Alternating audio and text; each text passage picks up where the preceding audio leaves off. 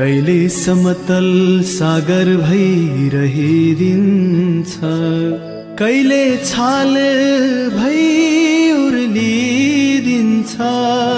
सम्हाल्नै गाह्रो भोजन। बहकिने मन। बहकिने मन। बहकिने मन। बहकिने मन। बहकिने मन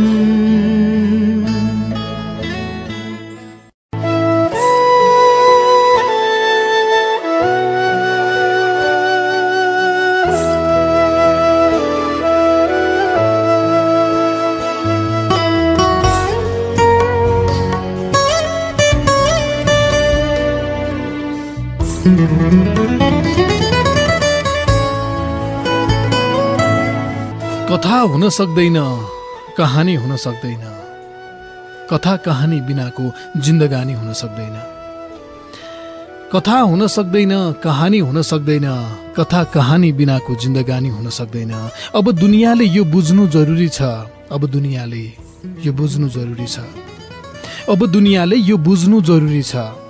कथा हुन सक्दैन कहानी हुन सक्दैन कथा कहानी बिनाको जिन्दगानी हुन सक्दैन। अब दुनियाँले यो बुझ्नु जरुरी छ।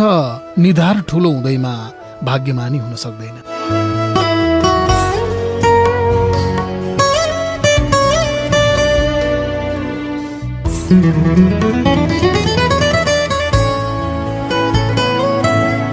लालबहादुर शास्त्री ठुला समाजसेवी थिए तर उनी आफ्नो नाम चर्चामा आओस् भन्ने चाहँदैनथे। उनी लोकप्रियताको प्यासी थिएनन्। एक दिन उनका साथीले उनलाई सोधे शास्त्रीजी तपाईँलाई पत्रिकामा नाम छपाउन यत्तिका डर किन? उनले केही बेर सोच्दै भने मित्र मलाई लाजपात रायको एउटा भनाइ सधैँ याद रहन्छ। उनले भनेका थिए लालबहादुर ताजमहलमा दुई प्रकारका ढुङ्गा रहेका हुन्छन्। एउटा राम्रो खालको टल्कने सिङ्गमरमरको ढुङ्गा छ जुन संसारले देख्छ फोटो खिच्छ र प्रशंसा गर्छ। अर्को त्यो ढुङ्गा जुन ताजमहलको जगमा लगाइएको छ जसको जीवनमा केवल अध्यारो नै अध्यारो हुन्छ तर ताजमहललाई त्यसैले ठड्याउने गर्छ ढल्न दिँदैन। र म त्यो जगको ढुङ्गा बन्न चाहन्छु मित्र। कुनै दिन पढ्दै जाँदा यो पनि पढेको थिएँ मैले। थाहा छैन कुन किताबमा हो तर पढ्न चाहिँ पढेको थिएँ।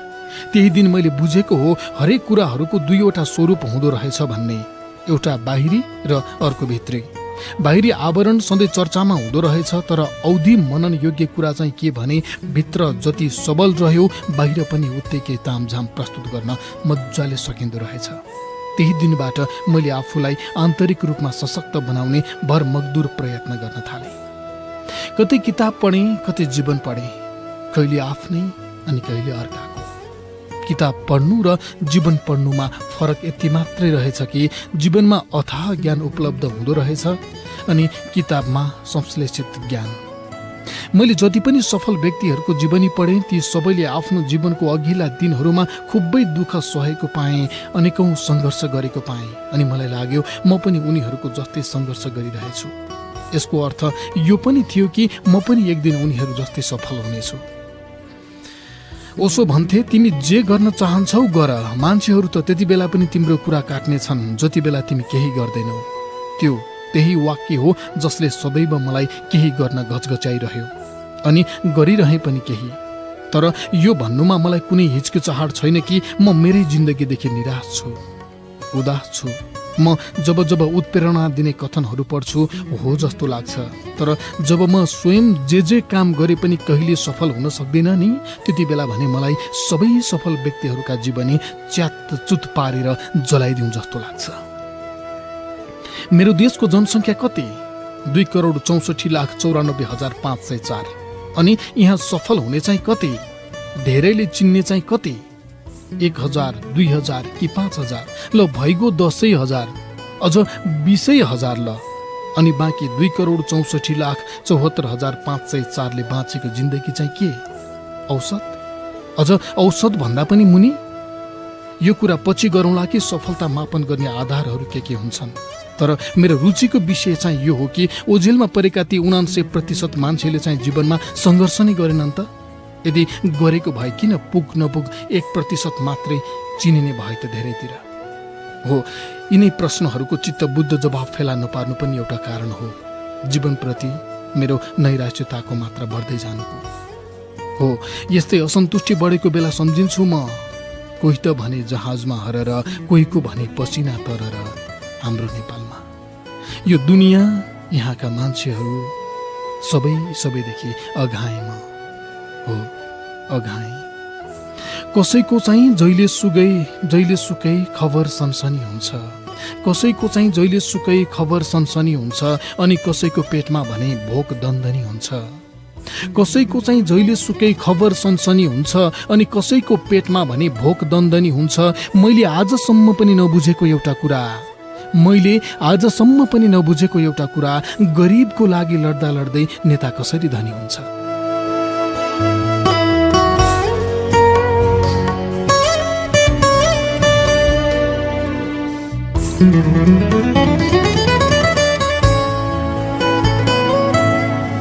जिन्दगीले कहिलेकाहीँ आफैसँग अनगिन्ती प्रश्नहरू सोधिरहन्छ जिज्ञासाहरू राखिरहन्छ। म जवाफ दिई टोपल्छु पनि तर मलाई पुरापुर थाहा हुन्छ मेरो जवाफको तौल। यसरी कति धेरै पटक म लाजको बाछिटाले पनि निथ्रुक्कै भिजेको छु। जिन्दगी योजना गरे अनुरूप अगाडि बढ्दैन फेरि पनि योजना चाहिँ बनाइरहनुपर्छ जिन्दगीमा। केही दिन अघि पोखराबाट जोमसोमको लागि उडेको विमान सोली घोप्टे भिरमा दुर्घटना हुँदा चालक दलका तिनजना सहित तेइसजनाको ज्यान गयो। त्यसको तेस्रो दिन नेपालगञ्जबाट जुम्लाका लागि उडेको अर्को विमान कालीकोटमा दुर्घटना भयो। चालकहरू दिनेश नेउपाने र सन्तोष राणाले नौयात्रुको ज्यान त बचाए तर आफूहरूकै ज्यान भने बचाउन सकेनन्। यी दुई घटनाले धेरैको जस्तै मेरो पनि मन थिलथिलो भएको छ। हिजो आज जब त्रिभुवन विमानस्थलबाट बेग हानेर उडी जाने हवाईजहाज मेरो छतमाथिबाट घुइँ आवाज निकाल्दै घुइकिन्छ तब सोच्छु जान त गयो यो तर पुग्छ कि पुग्दैन होला? जानु र पुग्नुमा त निकै फरक पो छ त। जिन्दगी पनि धेरै पटक अघि बढ्न खोज्दो रहेछ धेरै ठाउँमा तर अगाडि नपुग्दै बिचैमा के के हुँदो रहेछ के के? अनि एक खाले नैराश्यता मात्रै साथमा आउँदो रहेछ। त्यसैलाई काखी च्यापेर रुना धुना जिन्दगी बिताउन अभ्यस्त हुँदा रहेछौँ हामी। सानोमा एकजना दाई टाढाबाट बाँदर नचाउन ल्याउँथे हाम्रो गाउँमा। उनले जसो जसो भन्थे बाँदरले त्यसै त्यसै गर्थ्यो। हामीसँग गुड गर्थ्यो हामीलाई सलाम गर्थ्यो। खुबै रमाइलो मान्थ्यौँ हामी। अनि पल्लो गाउँसम्म पनि त्यही दाईको पछि पछि लागेर बाँदर नचाएको हेर्न जान्थ्यौँ। यो बिचमा मेरो भित्ताका धेरै पात्रहरू फेरिएका छन्। आज सोच्छु आफ्नै जिन्दगी त्यो बाँदर जस्तै पो भइसकेछ। जे भइरहेछ भइरहेछ किन भइरहेछ थाहै छैन। न पुग्नुपर्ने हतारो न बिसाउनु पर्ने चटारो। अरूहरू भारी बिसाउँछन् मलाई थकाइ बिसाउन मन लागेको छ। खै थाहा छैन किन? सायद स्वाभाविक पनि त होला नि। एकपटक आइन्स्टाइन नुहाउन भनी बाथरुमभित्र छिरेछन्। छिरेको धेरै समय बितिसके पनि उनी बाहिरै निस्केनन्। उनको बहिनीले अब निस्कलान् अब निस्कलान् भनी कुर्दा कुर्दै ननिस्किएपछि उनलाई डर लाग्यो र ढोका ढकढक्याउँदै बोलाइछिन्। केही समयपछि जस्तो छिरेका थिए उस्तै ननुहाइकन हातमा टबल टावल बोकेर बाहिर निस्किँदै आइन्स्टाइनले भनेछन् म त आफ्नै विचारमा हराउँदा नुहाउनै बिर्सेछु। यति भनेर उनी फेरि नुहाउनका लागि बाथरुमभित्र छिरेछन्।